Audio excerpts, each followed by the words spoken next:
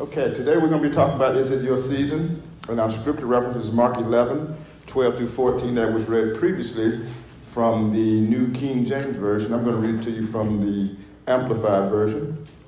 And we're just going to talk for just a few minutes on it this morning. Mark 11, 12, 13 through 14. Let's start with a word of prayer. Father, we do thank you for this day. Thank you, Lord, for another opportunity to come into your very presence. And we thank you, Lord, for your word that is true. Lord, we pray today that you would begin to reveal to us more and more, Lord, about your purpose in our life and in this church. And we commit ourselves to you, Lord God. We commit ourselves to the season that you have before us as a church. And we just pray that you would have your way with us, Lord, as a church, and that you would have your way with us today in this service. We commit ourselves to you and to your word, and we thank you for it now. In Jesus' name we pray. Amen. Mark 11, 12, 13, and 14, and reads as follows. On the day following, when they had come away from Bethany, he was hungry, Jesus. And seeing in the distance a fig tree covered with leaves, he went to see if he could find any fruit on it. For in the fig tree, the fruit appears at the same time as the leaves. But when he came up to it, he found nothing but leaves, for the fig season had not yet come. And he said to it, No one ever again shall eat fruit from you. And his disciples were listening to what he said. The interesting thing here is in the King James it says that Jesus cursed the fig tree. Yes. And so that word might be a little strong, but it still has a point that he was trying to make. We see this unusual situation with Jesus cursing or dooming the same interpretation in the Greek, cursing or dooming the fig tree. Now we can understand what that happened when something or someone deserves that kind of judgment, but let's look at the fig tree for a minute. It didn't deserve to be doomed or cursed because, first of all, it wasn't season for figs. Yes, amen. It wasn't totally barren or not producing, just not producing figs it appeared to be a healthy tree because this is when Jesus looked at it. Said he came up to it expecting to get some fruit from it. Yeah. So in the, in the idea of the fig tree today, just imagine if you were a fig tree. Y'all ever heard the phrase, if you, if you do good, you get good, and if you do bad, you get bad? Mm-hmm. Yeah. So why was it cursed or doing? It isn't that bad. Had it. Huh? Yeah. Now y'all got an extra hour sleep, or did y'all stay up late? Didn't y'all get an extra hour sleep last night? Y'all stay up late, I got an extra hour stay up late. That's what y'all did. Okay, on, wake back up then, because we, we back on the time, right time again. So, all right, so let's see what happens next. We'll go a little further to this scripture. Mark 11, 15 says this. It says, They came to Jerusalem, and he went into the temple, the area of the porches and court, and began to drive out those who sold and bought in the temple area. And he overturned the four-footed tables of the money changers and the seats of those who dealt in doves. And he would not permit anyone to carry any household equipment through the temple enclosure, thus making the temple area a shortcut for traffic lane. And he taught and said to them, Is it not written, My house shall be called a house of prayer for all the nations, but you have turned it into a den of robbers. And the chief priests and the scribes heard this and kept seeking some way to destroy him, for they feared him, because the entire multitude was struck with astonishment at his teaching. And when evening came on, he and his disciples, as a custom, went out of the city. So look at this. Jesus, first of all, we just saw Jesus passing through the city, wanted something to eat, doesn't eat. He cursed the fig tree. He gets to the temple, and the money changers, and then the King James said the money changers are selling yeah. and making money out of profits and things mm-hmm. in the temple. Mm-hmm. And he came in. Now you know God is love, and He's kind and He's generous. So he came in with his kind, loving self, turned over my table, and ran out. Told them, wait a minute now, wait a minute, wait a minute. I, I, hold on, dude. I thought the fault was love. What's going on with this? God is love. First you curse, curse the fig tree. Yeah. Now you're here turned over money tables in the temple. Yeah. What's wrong? Are you having a bad day, Jesus? Are you in a bad mood? What's wrong? Or maybe he was a little angry, but I don't think so. Sometimes when you're going through things, and it's not your season, sometimes things happen and you don't understand what's happening. So you, we always have that question, that question that God never answered. Y'all know what question that God never answered? Why? Why is it happening?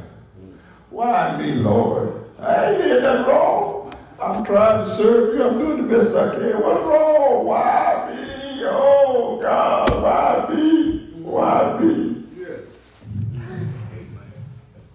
Well, how about this? The boundaries of God never put more than you can handle.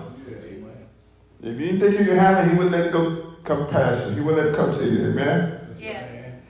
And you don't really answer that. I've never heard God answer that question, why? If you have, talk to me at the church and tell me how he answered your question, why? Because he ain't never told me why. So let's go back to the fig tree for a minute. Can you imagine if that fig tree could talk? What did I do? Why this happened to me? Yeah. It ain't even the season for figs. Yeah.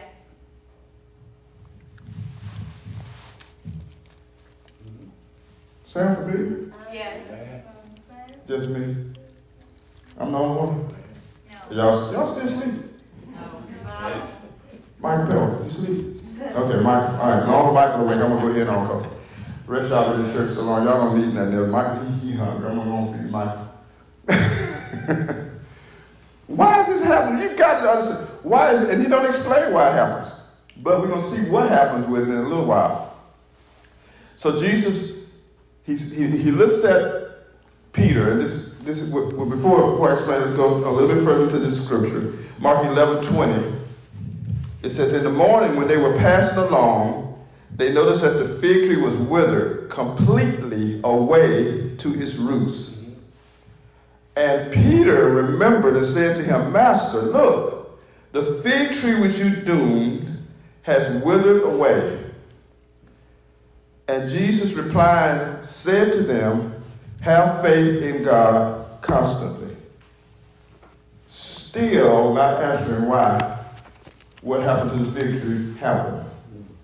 But he said this He says, Truly I say to you, whoever says to this mountain, Be lifted up and thrown into the sea, and does not doubt at all in his heart, but believes that what he says will take place, it will be done for him. For this reason I'm telling you, whatever you ask for in prayer, believe, trust, and be confident that it is granted to you, and you will get it. So, what's the answer to that question? Well, Peter didn't really ask the question. He said, Look, the fig tree you curse is withered, it's dead. And Jesus gives them scripture about what they're saying. He said, Have faith in God. Yeah. Constantly, the Amplified says, Have faith in God constantly. Because we have faith in God, then we'll sometimes say, oh, we'll try. Okay, well, God ain't doing it. Well, I'm going to fix this myself then. I'm going to make it happen. Yeah. And then we get worse trouble, don't we? Yeah. Amen. But Jesus said, have faith in God constantly. So when things change, remember what He said for you to receive and wait. Because He says this Whoever says this mountain, be lifted up and thrown into the sea, and does not doubt at all in his heart, but believes what he says will take place, it will be done for him. Now, I heard a story, I don't know all the details of it. A friend of mine might have told me this in North Carolina. There was a lady who had a house in North, I guess in the mountains part of North Carolina, but these mountains apparently was bothering her. Then the sun, she wanted to get the sunshine, she wanted something. And she took the scripture, she said, Whoever says this mountain be lifted up thrown to the sea, and don't it be done for her. So she prayed, Lord, move that mountain out of the way. And she prayed for years that mountain be moved. And one day, the governor came in because they were building a new highway through there and moved the mountain out mm. and built the highway. The mountain moved. I should find out the, the details of that. I said that. I said, now, Now, I'm sure she had came here that morning and told me that. I said, I said, I know you want some sunshine in your house, but you don't need to be praying for that mountain to be moved. But God says, if you say to this mountain be moved, Yes. it'll be moved. Now, he wasn't necessarily talking about a literal mountain, but in this case, it was a little mountain. So if he did it for her in a little mountain, guess what your problems are? Yes, sir. No problem for him at all. No right. He said, whatever you ask for in prayer, Yeah. believe, trust, and be confident Yes, sir. that is granted to you, and you will get it. Heard that. Yes. Now, what did he not say? Y'all heard me say this a million times. What did he not say? When? Thank you. I know my wife can get it. I was hoping somebody else would say it. He didn't say when. He didn't say right then. He says you will get it. Yeah. So if you haven't got it, hang on. Thank you, brother. See you getting older and wiser every day. Jesus never answered them why the tree was cursed. Yeah. But he explained the purpose to teach us about authority. Yes. Amen. So Jesus could take one fig tree and sacrifice it so that he could teach 12 men about authority. The fig tree has served its purpose. Yeah. What is your purpose? Because you might be going through something. It might not even be about you. Right, It might be about somebody that's watching you. Yeah. And when, when they see you go through it, and they're affected, and then they go reach a hundred other people you don't know, Yeah. it may have served a purpose. Now, I ain't saying God put sickness on nobody to make them more spiritual and nothing like that. I ain't talking about that. I'm talking about the trouble we have to go through. In the world, Jesus said, you're going to have trouble and tribulation. Yeah. But then he said, but be of good cheer. I've overcome the world. So if one fig tree can produce 12 world changers, even though one fell off and he had to replace it, then it was worth the fig tree being cursed. Yeah. God don't necessarily explain why he do stuff, but we trust him enough to know that whatever it is that we're going through Yes. has a purpose Right. Yeah. further down the road. So Jesus, in 11, 22 says this, Jesus replied, and said to them, have faith in God constantly. Truly I tell you, Mark 11, 23, whoever says, you just say, he does it. I can't move no mountain. That lady couldn't move no mountain from outside her house. But whoever says. Says what? What do you need to, what do you need to happen? Whatever you say, line up with his will. If you say it and believe in your heart and don't doubt at all that what you say will take place, Yes. it will be done for you. Yes. And God will do it because He's faithful. Sometimes we go through things. That's right. Everybody goes through things. Whether they saved or unsaved. That's right. Everybody has some of the same troubles. That's right. Sometimes the trouble ain't cause you saved, just because you just in the area where there's trouble. That's right. Yeah. But sometimes we go through trouble because we're persecuted for what we believe. People don't agree with us about something. They don't want no Christians on their job. They don't want no Christians talking to them. They don't want no Christians. You know, you're persecuted just because you're a saint, because you're a Christian. That's just, that goes with the term. Yeah. If you used to hang out with them, and now you ain't hanging out with them no more, oh, who do you think you is now? You going to church. Yeah. Oh, you think you holy now, huh? Yeah. And that's just the enemy. But when we know the truth, we can say, yeah, it's not because I'm holy, it's because I, I, I, I have understood now what the grace of God is all about. No, I ain't perfect. But guess what? I'm working on it. Yeah. Because His grace redeems us, brings us into the right place with Him where He can speak to us and disciple us and train us. And it takes a while. Yeah. Sometimes people have immediate change, things work faster. Some people take a long time. Some things I remember one time, I don't remember exactly what it was, and I kind of half remember this, so forgive me. I, I did turn 66 this year. But I remember one time I telling somebody about something I had finally got worked out between me and the Lord. I said, oh, I have that first week I got saved. As, as if, what took you so long? Well, for one thing, I ain't trying to earn nothing. That's right. I'm still learning. Yeah. Some people learn faster than others, right? Yes, amen. But as long as you learn it, Yeah. and guess what? Even when you get to heaven, you think, see, sometimes people think when we get to heaven, we're just gonna be like the angels gonna play, be playing the harps, and we're just gonna be kind of like floating along. But there's still teaching going on in heaven. There's stuff we don't learn, we don't know now that when we get to heaven, we're gonna learn about. Yeah. We're gonna always be learning. Yes.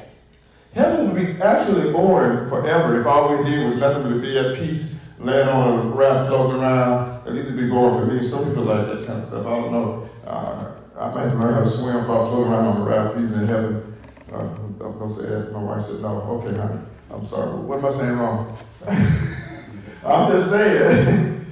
Some people's idea of peace and other people's idea of peace are two different things. Everybody got a different uh, idea of what heaven's gonna be like. Some people think, man, I've been so broke and poor down here on earth. When I get to heaven, I'm gonna have me a mansion, and you are. Yeah. But you ain't gonna, what would you, you ain't gonna have no money. What you need money for up there? Everything's provided. Yeah. Money's a thing down here. So our reason for going to heaven, first of all, is that we ain't separated from God no more, and we ain't burning in the lake of fire. That's the only reason I need right there. Amen. I know, right? I know. All everything else is what they say gravy. Yeah. But we can always receive God's best, even here Amen. on earth. A lot of people put the best off to heaven. Well, I want to get to heaven, then that's what I'll do. Andraé Crouch said one time in the song, he said, if heaven was never promised to me, it's been worth it all because of what the Lord's done for me on this side. He said, even if I don't go to heaven, he's been so good to me on this side that it's been worth it all. Just serving the Lord Yes. and following him. Amen. But guess what? Even as good as it is here, it's better there. Yes.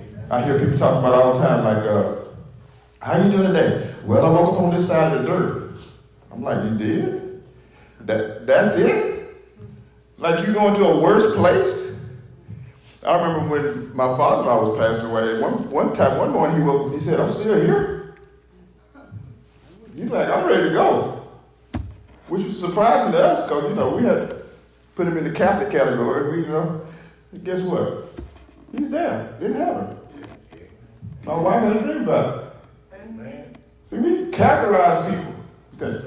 Well, you're not Baptist, you ain't Methodist, you ain't Pentecostal, you don't, you don't do this, you don't do that. You ain't really, know if you saved not. and I don't need to explain, I don't see no new faith. I don't need to explain nobody here how to get saved, but we already know how to get saved now. We know we can get saved by looking to Jesus, believing on Him, trusting Him, and then we get discipled. Now, the discipling part is, is the challenge because we all need to be, myself included, continue to grow, continue to learn what He wants us to do. But that ain't, that ain't increasing our chances to go to heaven. That's increasing our effectiveness on earth because He said to be holy even as I am holy because we represent Him. So people look at us and go, well, you ain't holy. Mm. Then they say you ain't no Christian. Well, that's not true. I am a Christian. I'm just still learning. Yeah. I'm still growing. Yeah. But we can't use that fact that he extended his grace to us as an excuse to just do what we want to. Paul said, Should I go on sin that grace may abound? May it never be. Yeah. No, we don't sin so we get more grace, even though we do get more grace when we sin. He says that when you when you sin, grace abounds and superabounds. That's way more grace than you could ever sin. That's right. But that don't mean you say, oh, well, good, I want more grace. I'm going to go sin some more. That's like enjoying going to the hospital or something. I don't know. I've been to the hospital. I'm going to go out and get hit by a car and then go back to the hospital. So they wait on me hand and foot down and bring What do you think? That's absolutely ridiculous, women. Yeah. Then why we do God like that? Because he give us his grace. I'm going to go sin some more so he can give me more grace? No. No. His grace empowers us Yes, to be a disciple and to live his life. And so this power he gives us is the example that Jesus used here with his, with his disciples. The fig tree was just an instrument that he needed to use to show them a very simple result. And that's what he tells you. Jesus said, when Jesus, when Peter passed back by the tree, he said, Lord, look, the fig tree you cursed or doomed has withered away. Yeah. And he didn't even address the tree. He still addressed them. He said, Have faith in God. Yeah.